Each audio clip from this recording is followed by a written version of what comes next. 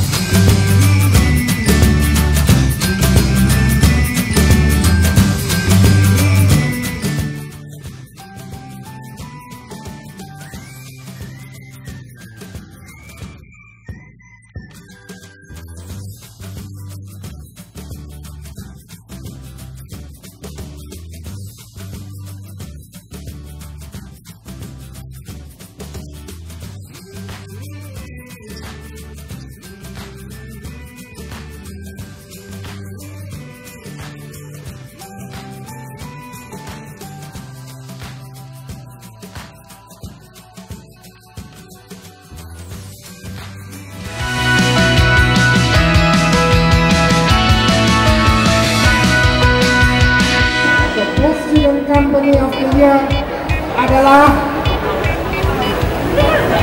SMKN 4 Denpasar. SMKN 4 Denpasar.